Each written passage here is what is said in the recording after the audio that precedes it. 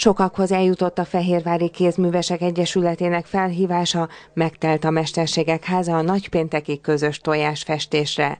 Takács Laura most először fogott írókát a kezébe, mégis jól boldogult a viaszolás technikájával. A rendezvényről pedig édesapjától hallott. Apukám mondta nekem, hogy el akarok-e menni, és én mondtam, hogy el szeretnék. És uh, húsvétre lesz emlékem. A megye szakavatott tojásfestőinek vezetésével az egyik szobában a berzselést, a másikban pedig a viaszolt húsvéti tojások elkészítését tanulhatták meg a résztvevők. Mint Zsovák Klára mondja, ez a technika nem Fejér megyei hagyomány, de szerencsére nálunk is tovább él. Az Egyesület munkájának eredményeként pedig már a számos közösségről tud, akik húsvét előtt összegyűlnek tojást festeni.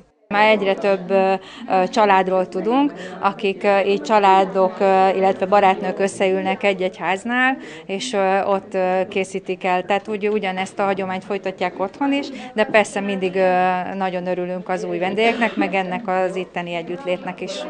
A teljes húsvéti ünnepkör hagyományait szeretnék megőrizni a szervezők, ezért hétfőn tojásgurító versenyt szerveznek.